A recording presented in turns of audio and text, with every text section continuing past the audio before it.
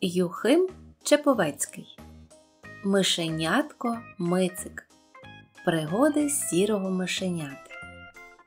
Частина перша. Привіт! Це я. Ні, ні, ви не туди дивитеся. Я тут, унизу, в куточку. Бачите? Дуже приємно. Мене звати Мицик, мишеня Мицик. Добре, що ми з вами зустрілися. У мене сьогодні велика радість, така велика, що обов'язково треба з ким-небудь поділитися. Моя сусідка, тітонька Марина, збирається подарувати мені отакенного кота. Вона вже навіть пішла по нього, а я сиджу і думаю, за що мені, такому малому, такий великий подарунок? Адже я ніяких особливих подвигів не здійснював, а тільки те, що мав робити. Чесне слово, не вірите, можу розповісти. Тільки треба швидше, бо зараз прийде тітонька Марина з подарунком, тоді не до вас буде. Отож спочатку про новосілля. Колись у мене була окрема нірка на околиці міста. Якось прийшли мулярі й тислярі та прибудували до неї підвал, різні приміщення, коридори, сходи. Вийшов великий будинок з однією ніркою, трьома кімнатами і кухнею. Майстри так поспішали на нове будівництво, що забули зробити хід з моєї нірки до їдальні. Але я не хотів їх турбувати і зробив усе сам, прогриз чудові дверця та шпаринку за буфетом. Коли все було готово, я вирішив, що пора познайомитися із сусідами і привітати їх з новосіллям. Я зачесав вуса, пригладив, як годиться, шерстку і визирнув з нірки. На мене одразу пахнуло вареною куркою. Дуже добре, подумав я, потрапив прямо на свято, господарі обідають. Так воно й було. За столом один навпроти одного сиділи гладка тітонька в окулярах і худорлявий хлопчик, і її син. Це й були мої сусіди, тітонька Марина і Петрик. Мені вони одразу сподобалися. Люблю людей, які обідають. Я навшпиньки забіг до кімнати, тихенько побажав їм смачного і всівся під Петриковим стільцем. Тут було дуже весело. Петрик дригав ногами і розсипав на всі боки крихти. Коли всі смачні шматочки було з'їдено, я постукав по Петриковому черевику і попросив добавки. Петрик побачив мене і зрадів. Він одразу заліз під стілець і пригостив мене чудовим шматочком курки. Тітоньці Марині теж стало цікаво, і вона запитала Що ти там робиш? Гостя пригощаю, відповів Петрик. Негайно повернися на місце, наказала тітонька Марина. Коли обідають, усі повинні сидіти за столом. Я відразу здогадався, що мене теж запрошують, але було якось незручно, тільки познайомилися і вже за стіл, і я залишився на своєму місці. Петрик мене зрозумів і кинув під стілець цілу курячу ніжку. Тут вже тітонька Марина не витримала, нахилилася і подивилася на мене крізь свої товсті окуляри. Ах, ах, боже мій, що ж це таке? закричала вона. Лови його, лови. І вони вдвох почали за мною ганятися, щоб посадити за стіл. Потім тітонька Марина сіла з ногами на диван і почала звідти командувати. Петрику, він під стільцем, Петрику, він під столом, швидше, швидше. Спершу ми з Петриком просто бігали, а потім стали грати в гори дуба. Він ганявся за мною, а я за ним. Ми так веселилися, що аж усі вікна та меблі двихтіли. А коли Петрик наштовхнувся на стіл, тарілки всі як одна зістрибнули на підлогу. Бах, дінь, дінь, бах, оце музика. Тітонька Марина теж пожвавішала. Вона почала бігати по дивану і кидати в мене різні речі. Було дуже весело. Я був радий, що зумів отак розворушити своїх нових сусідів. Патрик теж був задоволений. А от тітоньці Марині раптом стало зле. Вона лягла на диван і, дивлячись на осколки тарілок, жалібним голосом заговорила Життя немає від цієї дитини. Але Петрик одразу її заспокоїв Він пояснив їй, що посуд п'ється на щастя. Тоді тітонька Марина ще сумніше заголосила. А черевики щотижня теж б'ють на щастя, а плями в зошитах і двійки теж на щастя, а мені самій по господарству поратися теж велике щастя. Тут я зрозумів, що веселощі скінчилися, що час закочувати рукави і братися до діла. Якщо в хаті труднощі, сусід не повинен стояти осторонь. От тільки мені чомусь здається, що тітонька Марина мене боїться. Якби це було не так, вона б теж грала з нами вгори дуба і не лізла б з ногами на диван. Я зовсім не хочу, щоб мене боялися. Я хочу, щоб мене всі любили. Тому насамперед треба з'ясувати, чому тітонька Марина мене боїться. Виявляється, у тітоньки Марини в окулярах збільшувальні скельця. Коли я дивлюся їй в очі, то бачу справжні чайні блюдця. Отже, я їй теж здаюся значно більшим, ніж насправді. Цілком можливо, що вона вважає мене за слона. Слони теж сірого кольору, і у них теж великі гарні вуха, от тільки хвіст у слонів спереду, а не ззаду, як у мишей. Але ж тітонька Марина може цього не знати і тому боїться. Я радий, що я не слон. Якби я був великим, як слон, то як би я міг бігати під буфетом і пролазити у свою нірку? А може, тітонька Марина на мене образилася? Зараз усі будують окремі квартири, а у неї виявляється з сусідом. Але ж це не я до неї, а вона до мене присусідилася. Але я й не думаю ображатися. Навпаки, я радий. Тітоньці Марині доведеться з цим примиритися, тому що без мене тепер у хаті не обійтися. Ну, хто, наприклад, як не я, повинен зайнятися Петриковим вихованням. Тому я вам зараз розповім, як я допомагаю Петрику робити уроки. Петрик мені сподобався одразу, особливо коли я побачив його олівці й ручки. Усі вони обгризені. У нього це діло дуже добре виходить. До того ж, усі його книжки, іграшки та моделі звалені в одну чудову купу. Там є і шурхотливий цигарковий папір, і смачний клей з борошна, і старі каштани, і навіть солодкі обгортки від цукерок. Ми з ним любимо ритися в цій купі, а я часто відпочиваю в ній після обіду. Зариюся і сплю. Раніше тітонька Марина цю купу прибирала, а тепер чомусь не торкається її. Купа виросла, і в ній тепер, мабуть, може сховатися справжній слон. Ми з Петриком живемо дружно і в першу чергу готуємо разом уроки. Робиться це так. Петрик розкладає на столі підручники і зошити, ставить чорнильницю, бере в руки ручку і починає її гризти. Робить вигляд, ніби думає. А коли тітонька Марина йде до кухні варити нам обід, він одразу кладе біля буфету шматочок ковбаси. Ковбаса це наш умовний сигнал. Вона так смачно пахне, що я миттєво вибігаю з нірки і з'їдаю весь умовний сигнал. Потім видираюся до Петрика на стіл, і ми починаємо робити уроки.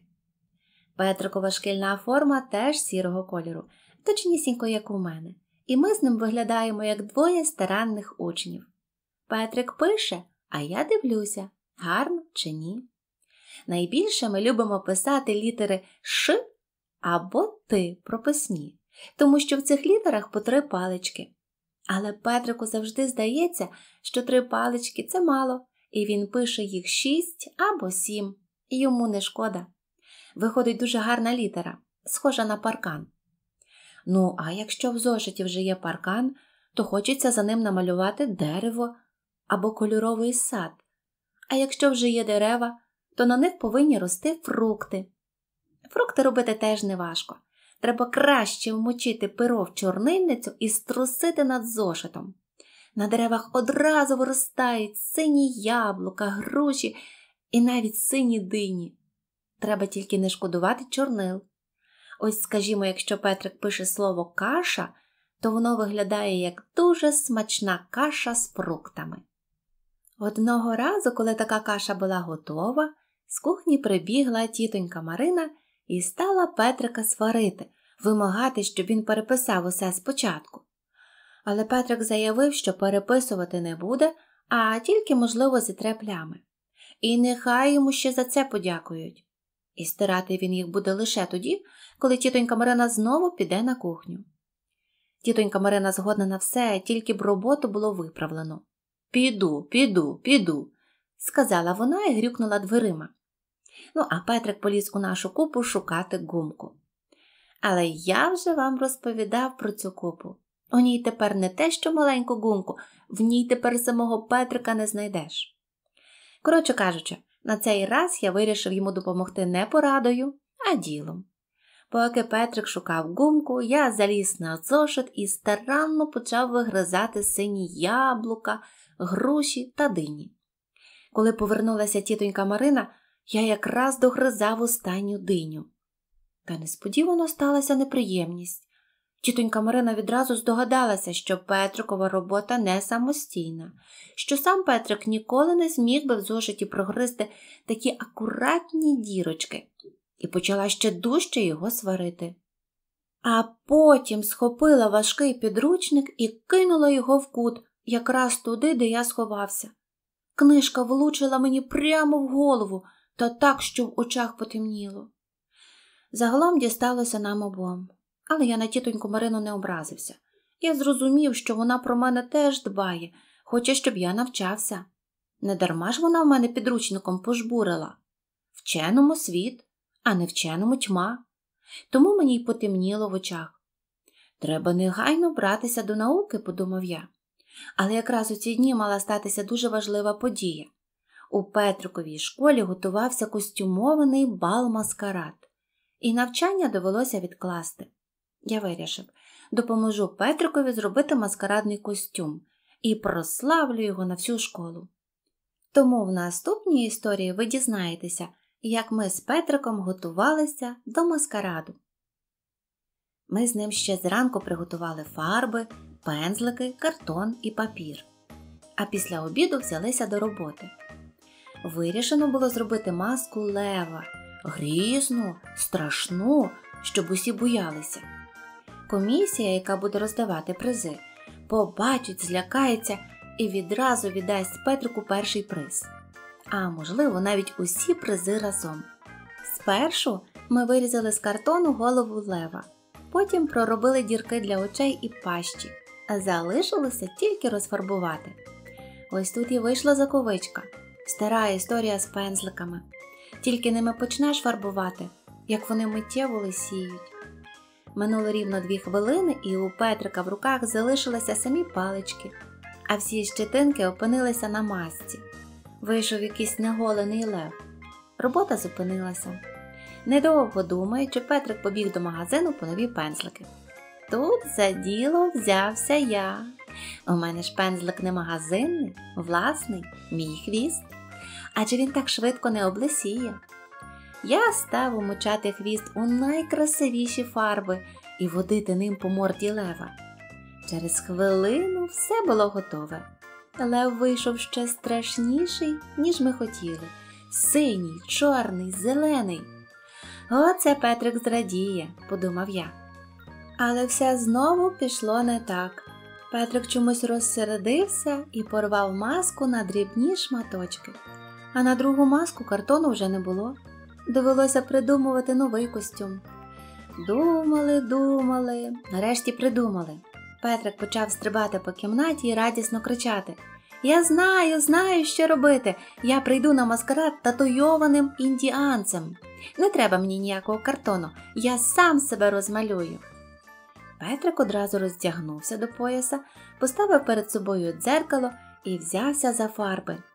Спершу він червоними і жовтими смугами розфарбував собі обличчя, потім намалював на грудях орла і мішень, а на руках кільця всіх видів. Навіть на спині він примудрився навести різні лінії. Вийшов пригарний індіанець. Коли ж він встромив у волосся курячі пір'я, то стало ясно, що такого костюма ні в кого на маскараді не буде. Я так позаздрив Петрику, що вирішив теж перефарбуватися, зробитися індіанським мишеням. У блюдечку залишалася густо розведена зелена фарба. Я заліз у нього, повалявся трохи і виліз. Лапи і ніс я засунув у залишки червоної фарби. І справа готова. Костюм у мене вийшов не гірший, ніж у Петрика. Потім ми з ним почали бігати по кімнаті і пищати, як індіанці. А я ще до того ж полазив на животі і покачався на спині. Тому підлога в кімнаті теж стала індіанською. Ну, пора на маскарад, сказав Петрик. А я подумав, що добре було б взяти з собою на маскарад підлогу, тому що вона теж вийшла дуже гарна, і її ніхто не впізнає. Так воно і сталося. Саме в цю хвилину до кімнати увійшла тітонька Марина. Вона спершу захиталася, потім сплеснула руками, потім вигукнула Що ж це коїться? Кімнату не можна впізнати. Правильно, сказав Петрик, тому що ми індіанці, ми йдемо на маскарад. Зараз буде тобі маскарад, зараз ти мене дістанеш прочуханки, закричала тітонька Марина і потягла індіанця до ванної кімнати.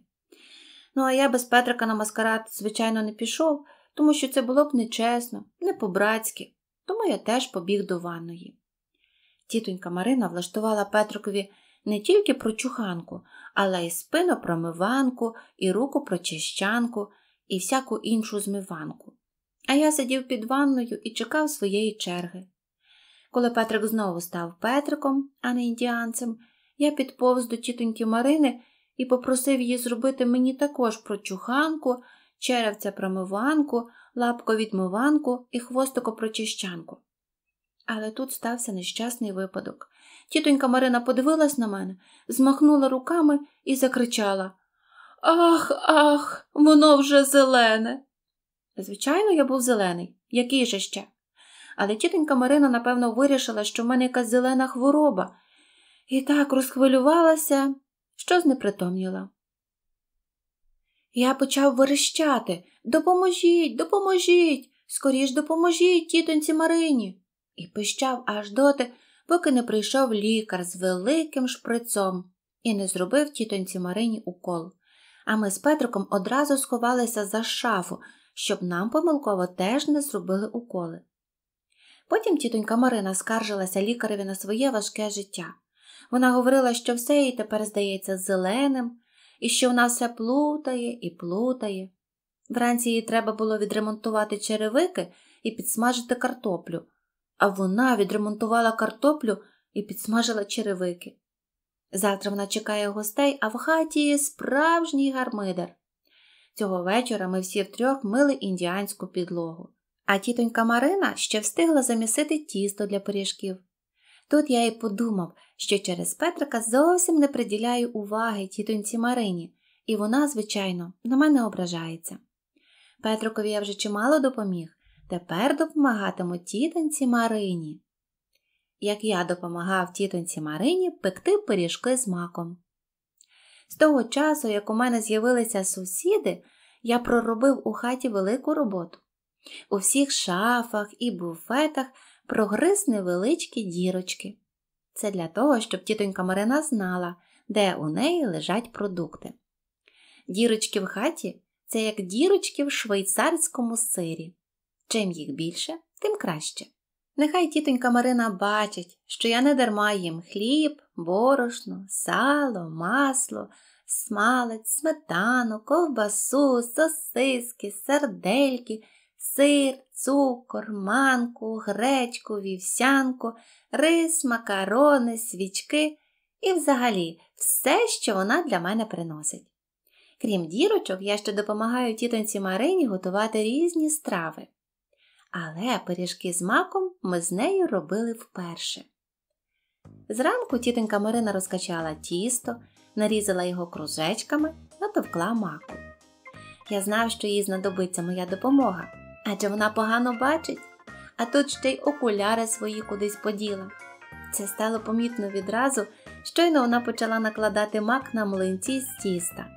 На один мало покладе, на інший багато. От я і став від'їдати зайвий мак, щоб пиріжки вийшли однакові.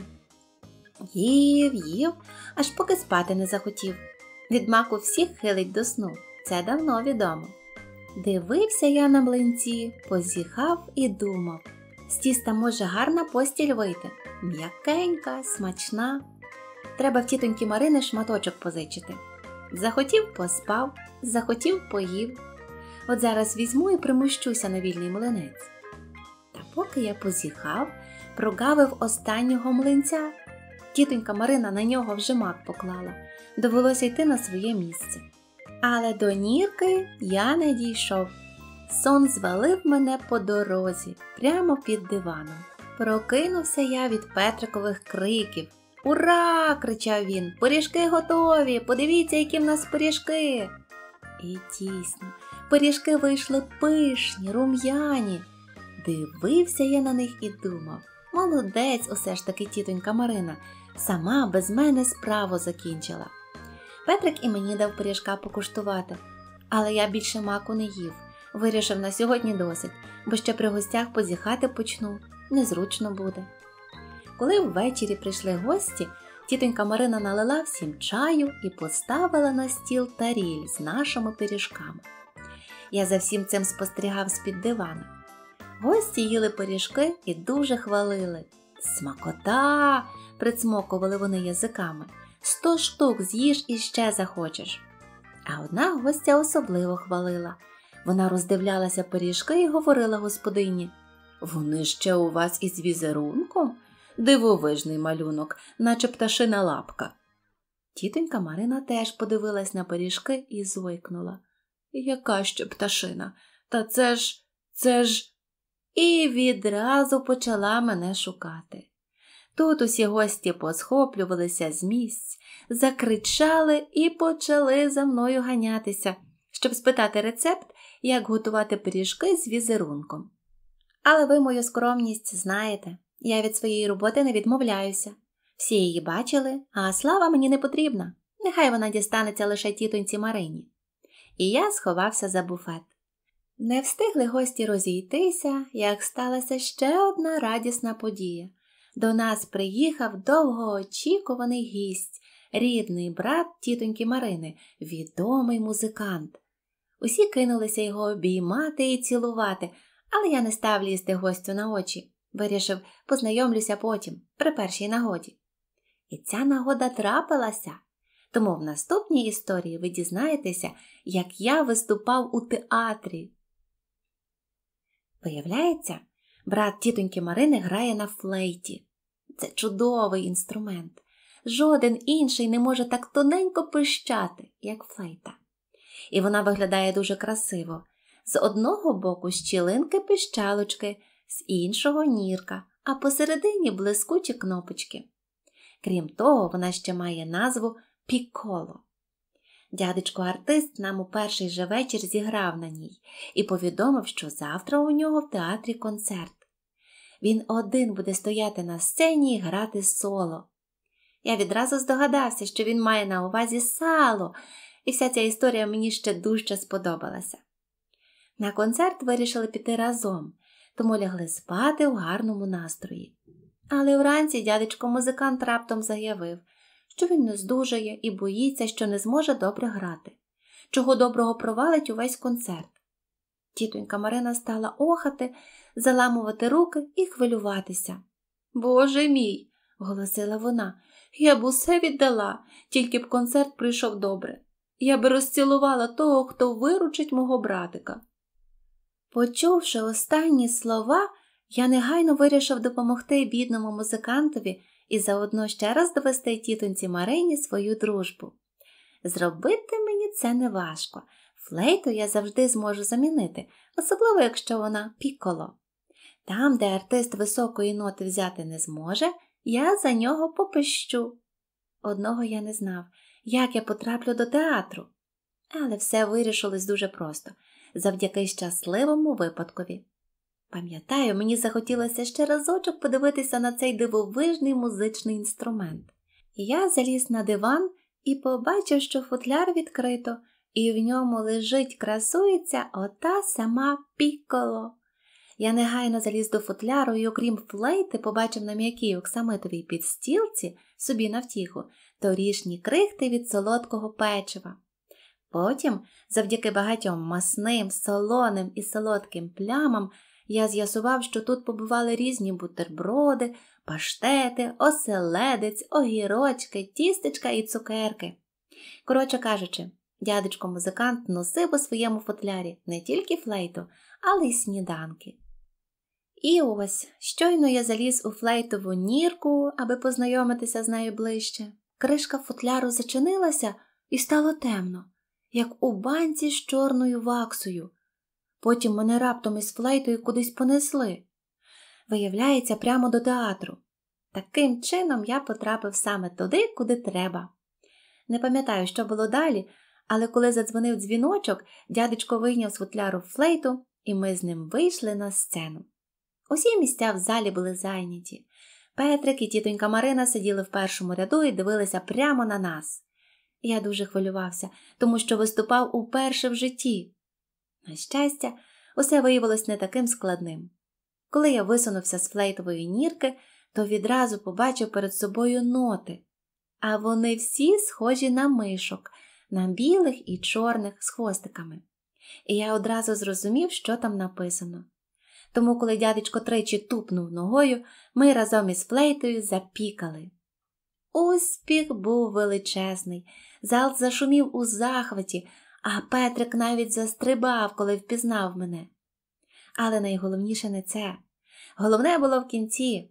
Справа в тому, що мені доводилося міцно триматися за край флейти, тому що, коли дядечко музикант грав, мені в спину весь час дув вітер. І от, коли нам треба було взяти найвищу ноту, дядечко набрав у легені побільше повітря, та як дмухне, я не втримався і, немов куля, вилетів із флейти, перелетів через весь зал і гепнувся прямо біля виходу. Публіка у захваті схопилася з крісел. Такого музичного трюку в цьому місці ще жоден артист не робив. Загалом все вийшло добре. Наш виступ закінчився навіть раніше, ніж треба. Я побіг до роздягальні, знайшов Петрикове пальто. Зробити це було неважко, тому що це пальто найкрасивіше, на ньому спереду і ззаду різні плями. Як тільки я заліз у кишеню, публіка прибігла до роздягальні. Назад ми їхали в таксі і довго не могли позбутися пережитих вражень. Вдома тітонька Марина прикладала до серця холодні компреси і охала а дядечко музикант ходив по кімнаті і не переставав дивуватися. Не розумію, говорив він, звідки в новому будинку миші? Це ж рідкість. Ти мало їм приділяєш уваги. Я хотів сказати, що дарма він про мене так турбується, але хіба тітонька Марина дасть слово вимовити? Вона закричала, що якась там її чаша давно переповнена, що терпець у неї урвався, і що завтра ж вона приділить мені стільки уваги, скільки я заслужив, піднесе мені чудового подарунка. І якщо після того концерту дядечка коли-небудь знову запросять до нашого міста, то тут вже все буде по-іншому. Було дуже незручно, що дорослі приділяють мені стільки уваги, але я з нетерпінням став чекати завтрашнього дня, тобто сьогоднішнього, тому що тітонька Марина оце зараз пішла по подарунок. Тепер уже чекати недовго. Тітонька Марина приносить подарунок. Учора тітонька Марина обіцяла розцілувати того, хто виручить її брат. Я не полюбляю ніжностей, але заради дружби і спокою я б їй це дозволив. Проте тітонька Марина вранці навіть не подивилася у мій бік. Вона схопила велику сумку і кудись поїхала. А Петрик не втримався і все мені розпотякав. Він бігав по кімнаті і радісно кричав Ура, ура! У нас буде Сибірський кіт! Мама зараз принесе чудового кота.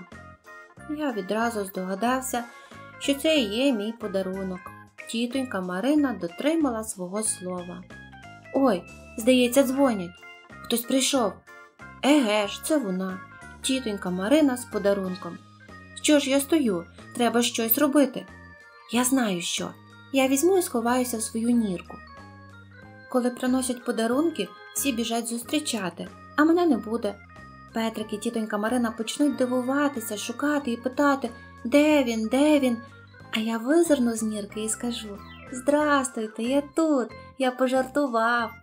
І всім стане дуже весело. Ну, а там побачимо, Сидіти ще в нірці чи виходити? Вибачте, побіжу. І, будь ласка, не ображайтеся на мене. Живі будемо, побачимося. Не знаю тільки де. А поки на все добре. До скорої зустрічі! Підписуйтесь на канал Світ Казок і не забудьте натиснути на дзвіночок.